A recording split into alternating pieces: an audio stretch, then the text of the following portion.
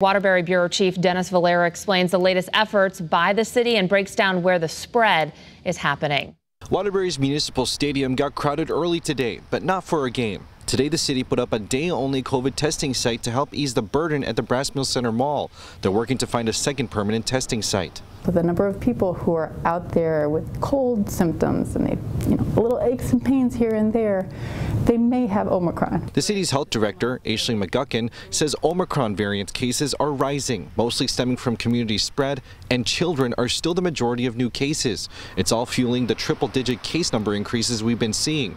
Weekly case totals have been increasing at higher rates since the end of November. While last week did see a decrease, the city still recorded more than 900 new cases.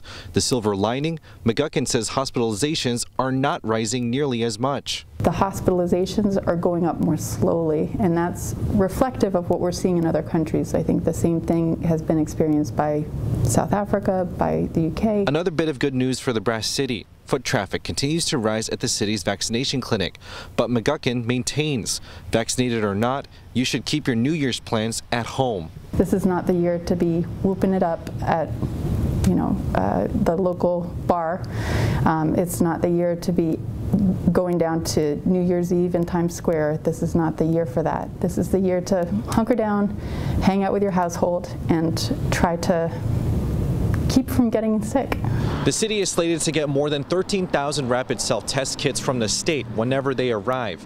Now, the testing site at the Brass Mill Center Mall and the vaccination clinic here next to the Walmart, they will be closed New Year's Eve and New Year's Day, reopening on Sunday. Here in Waterbury, Dennis Valera, Channel 3 Eyewitness News.